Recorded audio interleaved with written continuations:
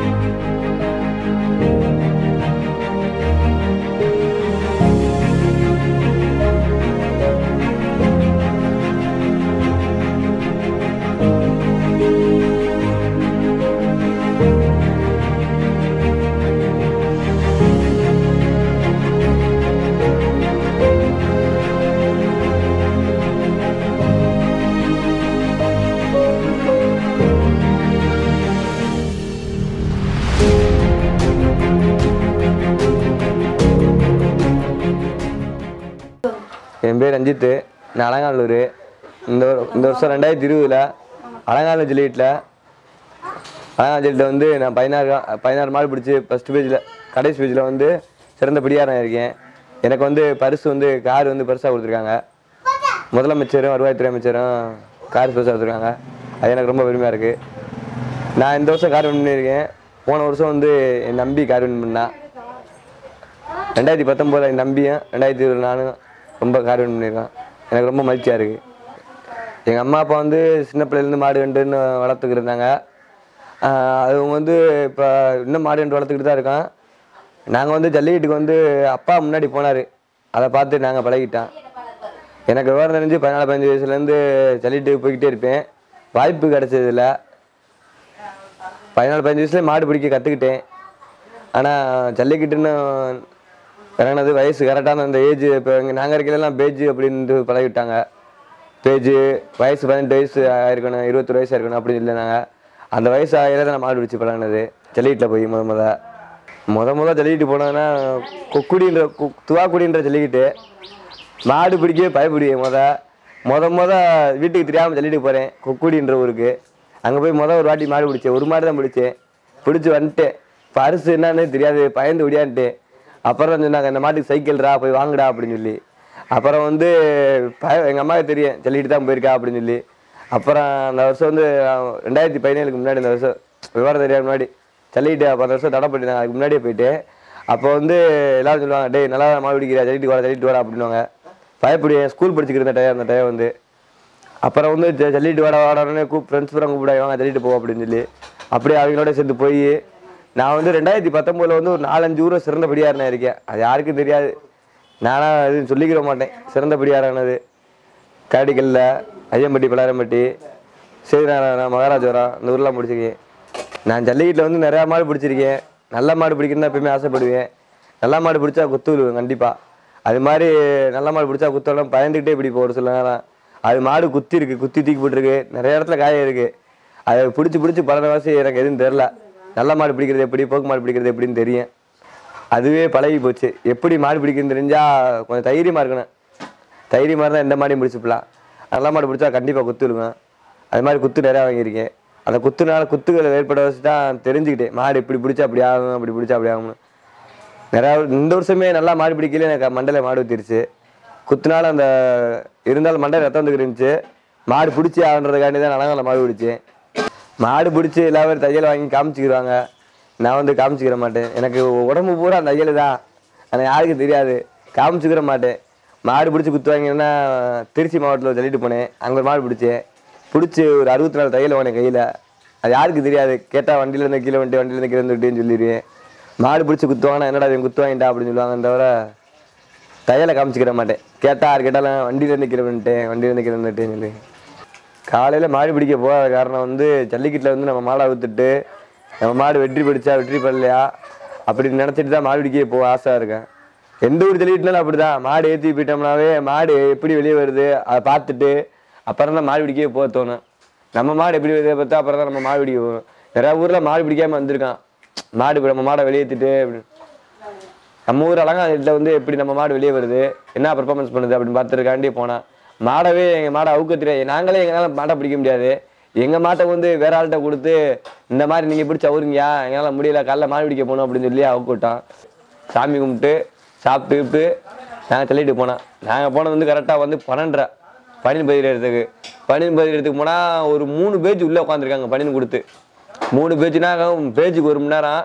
நாங்கள் போன பேஜ்லேருந்து கரெக்ட் கரெக்டாக சொன்னோம்னாக்க பன்னெண்டா ஒன்று ரெண்டு மூணு மூணு மணி முடியும் மூன்றரை முடியும் எங்கேருந்து ஒன்றரை போனோமா? மூன்றரை முடியும் இந்த மூணு பேஜும் போன வரவு கடைசி பேஜ் நாங்கள் தான். எல்லா பேரும் கேட்குறாங்க போன வருஷம் இந்த பையன் தான் அண்ணன் தம்பி எல்லாரும் ஒன்றா தான் போனோம் காது வாங்கினது யார்? எந்த பையன் தான் அப்படின்னு. இந்த வருஷம் எப்படி வாங்க போகிறீங்க அப்படின்னு சொன்னாங்க. எல்லா பேரும் ஒரு கிண்டலாக பச்சரிச்சாங்க போலீஸ்காரங்க அப்புறம் நக்கல் பண்ணாங்க. இந்த மாதிரி பண்ணையில் நாங்கள் போனேன் கடைசி பேஜ் தான் போனோம். மாடு பிடி நல்ல மாடு பிடிக்கணும்னு போனோம். பார்த்தா எல்லா நல்ல மாடம் போயிடுச்சு ஜல்லிக்கட்டுலாமே மாடு பிடிச்சா சந்தோஷம்னால மாடு பிடிச்சா போதும் அப்படின்னு நினச்சான். மாடு பிடிச்சிக்கிட்டே இருந்தேன். மொதல் மாடு பிடிச்சேன். சந்தோஷமா இருந்துச்சு. அப்படியே பார்த்துட்டே இருந்தேன். சரி என்னடா மாடு நிறையா மாடு பிடிக்கணும் ஆசையாக இருந்துச்சு. பிடிச்சிட்டான்னுட்டு மாடப்புறம் பிடிச்சேன். தொடர்ச்சியாக மாடு பிடிக்கிறது வந்து யார் வேணாலும் பிடிக்கலாம். மாடு பிடிக்கிறவங்க எல்லாருமே மாடு தொடர்ச்சியாக பிடிப்பாங்க. ஆளு எல்லாட்டி மாடு பிடிக்கலாம். தொடர்ச்சியாக ஆளுகள் எங்கள் என் பாட்டு பூரா என் சைடு பூரா மாடு பிடிக்கிறவங்க தான் அதிகமாக இருந்தாங்க. தவிர இடது பக்கம் வலது பக்கம்ன்றது ரெண்டு பக்கம் இருக்குது அதில் வந்து இடது பக்கம் நிற்கிறவங்க தான் மாடு பிடிச்சவங்க பூரா அழகானும் இல்லை. அந்த பேஜில் எங்கள் பேஜில் பூரா வலது பக்கம் பிடிக்கிறதுக்கு ஆளே இல்லை. இடது பக்கம் பிடிக்கிறதுக்கு தான் ஆள். நான் வந்து ரெண்டு பக்கத்துமே மாடு பிடிப்பேன். பழகிக்கிட்டு இருக்கேன் இடது பக்கம் வலது பக்கம் நல்லா பிடிப்பேன். இடது பக்கம் பிடிப்பேன் வலது பக்கம் பழகிக்கிட்டு இருக்கேன். இருந்தாலும் வலது பக்கம் வந்து நான் பிடிச்சேன். இடது பக்கம் பூரா எங்கள் ஊரில் வந்து நிறையா பிடியாரங்க வந்திருந்தாங்க அலங்கானக்காரங்க அலங்கானில் வந்து. எப்படின்னே தெரியல பயந்துட்டு இருந்தேன். என்னடா அவங்க பூரா இருக்காங்க பெரிய பிடியாரங்க பூரா அப்படின்னு நினச்சி பழ பயந்தேன். கொஞ்சம் மன தைரியமாக இருந்துச்சு. எந்த ஒரு மாடு பிடி வீரனும் ஒத்தையாக இருந்தால் எத்தனை மாடு வேணால் பிடிக்கலாம். எத்தனை மாடு வேணால் பிடிக்கலாம். தைரியம் இருந்தால் நிறையா மாடு பிடிக்கலாம். ஜல்லிக்கிட்ட நாலு மாடு பிடிச்சது வந்து நீங்கள் சொல்கிறீங்க நான் நிறையா ஊரில் நாலு மாடு பிடிச்சிருக்கேன் தொடர்ந்து பிடிச்சிருக்கேன். ஒரு மாடு விட்டு ஒரு மாடு பிடிச்சிருக்கேன். தொடர்ந்து மூணு மாடு பிடிச்சிருக்கேன். அலங்காரம் நாலு மாடு பிடிச்சிருக்கேன்.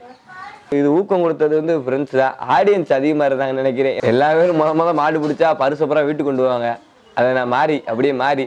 பரிசு வேற ஆள் வீட்டில் வச்சுட்டு வந்துடுவேன் வேற ஆள் வீட்டில் வச்சுட்டு வந்து அப்புறம் சொல்லுவேன் ஃப்ரெண்ட்ஸு கழுவி கொடுத்து விடுவேன். மொத மொத மாடு பிடிக்கல ஃப்ரெண்ட்ஸ் கழுவி கொடுத்து விடுவேன் போயிட்டு இப்போ ரெண்டாயிரத்தி பதினேழுக்கு முன்னாடிலாம் மாடு பிடிச்சேன். பரிசு ஒரு பரிசு வீட்டுக்கு கொண்டு வர மாட்டேன்.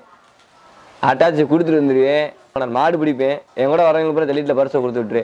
கொண்டு வானா அந்த ரெண்டாயிரத்தி பதினேழுலேருந்து அந்த மாதிரி கொண்டு வீட்டுக்கு கொண்டு வந்தேன். வீட்டுக்கு கொண்டு வந்து கொடுப்பேன். இந்த மாதிரி சாமியை கும்பிட்டு கொடுத்து வச்சுக்கோங்கடா அப்படின்னு சொல்லி பரிசா.